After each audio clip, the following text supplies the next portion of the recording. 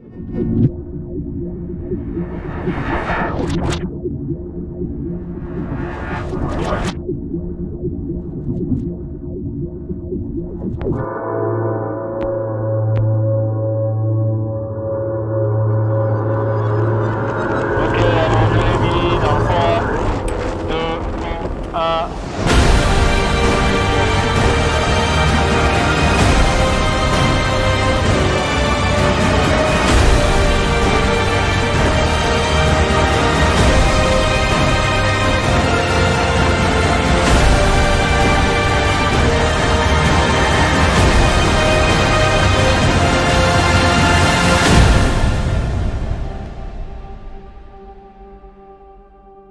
La première étape à faire dans un projet comme la liste, c'est de savoir dans quelle région on va aller skier et sur quelle montagne.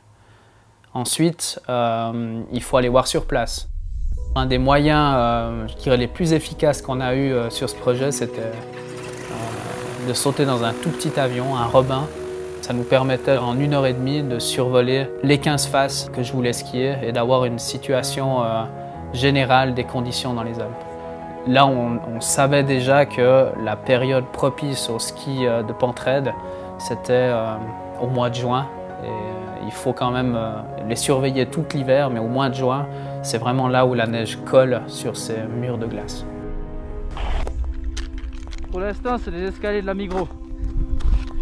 Un des critères les plus importants du repérage, c'est clairement de monter dedans, de grimper par là où on va descendre. Par exemple, pour une face comme l'Obergabelhorn, je suis monté euh, où je pensais que j'allais descendre pour vraiment repérer la qualité de la neige, la déclinivité, la, raideur de la pente. C'est la chose qui m'a le plus aidé dans ce projet. Depuis 10 heures euh, hier euh, soir, on n'a pas super bien dormi. Là, il y a vraiment plus que 70 km/h de. Je pense c'est du fun. On a checké un peu si ça, si ça allait baisser dans la, dans la journée. On a vraiment regardé chaque jour après ces, conditions, ces, précipitations de neige, voir si on était, on pouvait faire quelque chose, on pouvait bouger. On, on est constamment en train de regarder un plan et et ça marche pas. À mon avis, it's a no-go, comme ils disent.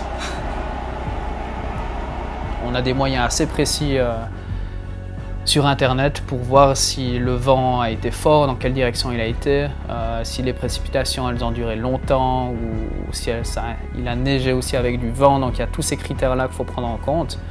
Et ensuite, ben, il faut se rendre sur place, il faut essayer. Et puis ça, a beaucoup été ça, ce projet, c'est essayer et puis dans le risque de rentrer euh, sans rien. Mais sans essayer, ben, on ne pouvait pas savoir.